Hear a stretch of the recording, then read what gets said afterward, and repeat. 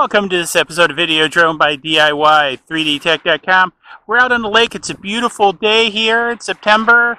We got some boats out there, ship way out there. We got the Spark. And we're going to take it up and out. We're going to do a little um, just flying around, probably do some hyperlapse at the end of this maybe. So uh, I've checked hover. I'm clear to fly. So let's go ahead and uh, let's take this guy up.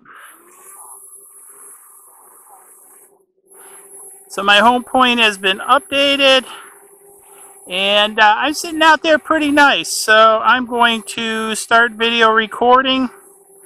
I've got the video recording going. I need to adjust my um, screen here up a little bit.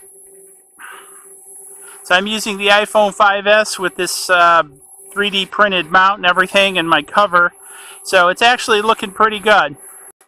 So what I'm going to do is uh, I'm just going to start taking it out over the water and capture some video as we move it out over the water. I don't know why it's sort of going sideways. I want it to go that way. There we go. And so we're just kind of taking it out there. A little bit sunny, beautiful day on the water, and just kind of catching some some views over the lake. Let's, uh, I'm only a few feet above the water. Let's just gimbal down. So there's the water underneath me. So as I'm taking it out, you can see the rush of water underneath as it's going out, which is kind of cool. And uh, what I want to do, uh, I'm kind of low, so I want to keep an eye on it. I am going to gimbal back up and uh, just making sure because I'm at a height where if a boat comes by it's going to run into me.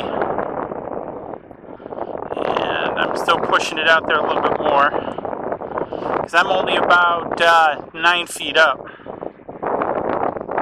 So we're still heading it out. So again this Spark is just a whole lot of little fun. So let's let's uh, let's pan this around. Some beautiful clouds in the sky looking over there at Canada. Um, there's the Blue Water Bridge. There's the Fort Gratiot Lighthouse. So, and again, I'm only um, 2.5 meters above the water, so I can see it out there. She's out there, right about out there, just kind of hanging above the water. And that's one of the things I love. It's actually fairly close. I don't know if you can see those buoys but it's fairly close to those buoys. I've flown out there before with the Phantom 3, so uh, so I want to pan this around, and I'm going to turn this back around to where it's kind of looking back towards me. So here's where I'm at on this beach way back here. Whoops. And I want to take it out there. So, uh, take this back around. And that's looking down. The view on the screen is really, really tiny. Here's looking back at Lake. Probably won't be too much wind noise, but it's kind of kicked up a little bit. Uh, I want to go back out this way just again, just look and see any boats coming, because if any boats are coming, I have to go up. So I'm just kind of keeping an eye on things. I don't have to watch for airplanes, but I got to watch for boats now. I just love the view of this water as it rolls by underneath. So I'm out about 300, well, about uh, 229 meters. Still have really good signal strength.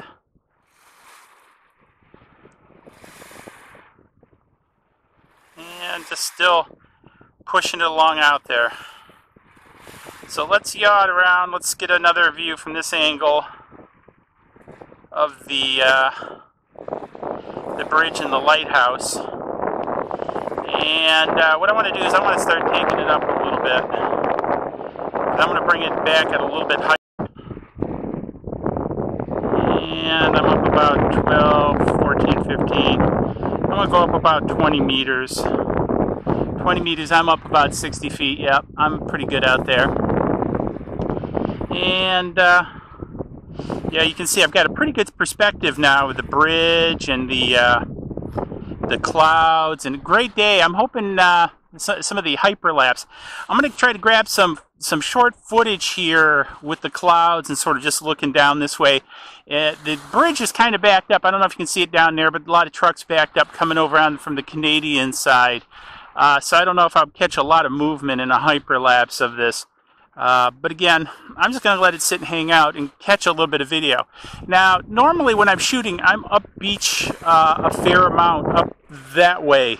And so, um, again, down here, I'm catching it. Now, I've got to be a little bit careful because just on the other side of those buoys, uh, actually starts a restricted line. Now, I'm okay until about 100 feet the other side of that, uh, but number one, it's Canadian water, so I'm still in U.S. territory, and I'm just the other side of, um, you know, a five-mile airport zone for the Sarnia Airport, so that's one of the reasons I kind of want to stay back, and I want to be respectful, and even though technically it's not on this side, I want to stay down a little bit uh, just to capture some images and you know, kind of follow the regulations, even though I'm still a little bit on the safe side. Better be safe than sorry.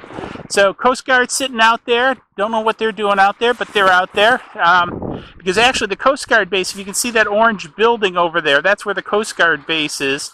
Um, and so they're on the other side of the lighthouse, and that's Fort Gratiot Lighthouse, I think I've mentioned before. And so, uh, anyways, we're just sitting up there capturing some video. And what I want to do, I want to kind of, I want to capture some pan video. So now what I'm going to do is I'm just going to slowly pan this around. Now what I'm going to do is I'm going to probably cut this into a hyperlapse, the pan. So I'm going to do a complete pan. Now one of the things with the hyperlapse that I'm experimenting with is, is the time. So typically four to eight times the... Um, the speed is what I'm running. And so, oh, there's the buoy. I got sidetracked by something pretty. Um, I've got a little bit of battery left. I want to see if I can't uh, move in on that buoy a little bit more. That buoy marks the side of the shipping channel, so I'm going out. I'm now crossing over 300 meters. And... Uh, I well got that baby in sight, so that's actually pretty good. So just and uh, as I come down, as I approach it, I want to gimbal down a little bit. So you can see it out there. I'm out there by that green buoy.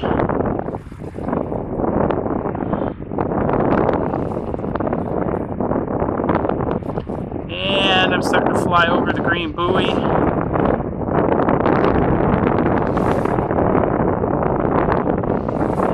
I've now the bird now I'm passing over the green buoy.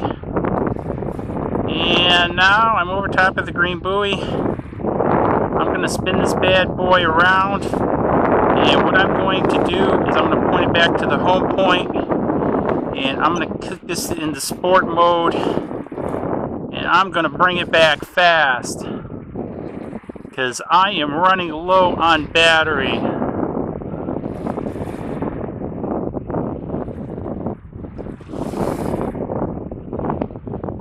And I'm to gimbal up so I can see where I'm headed.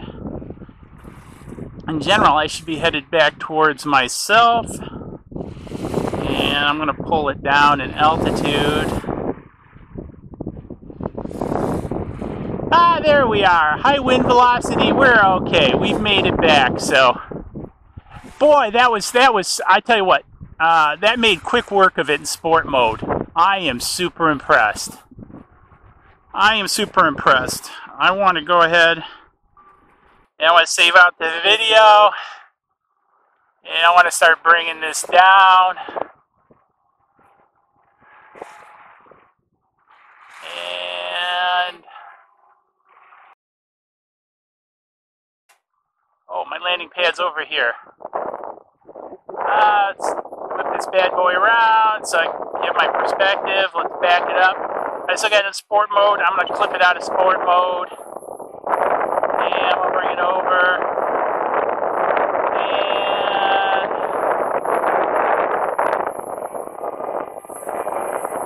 we're going to try to get it on the pad.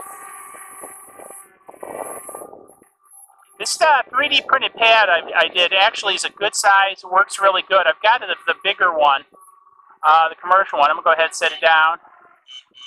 I totally missed at the very end. But uh, anyways, hey, this was a great flight today, guys. Beautiful weather out here. Beautiful weather out on the lake. Got ships, got sailboats, got a lighthouse, got everything you could imagine. So very much enjoy this. So, hey, let me know what you're thinking about for lunch uh, in the comments below. Uh, don't forget the subscribe button over there. And hey, we'll see you guys in the next video. Cheers.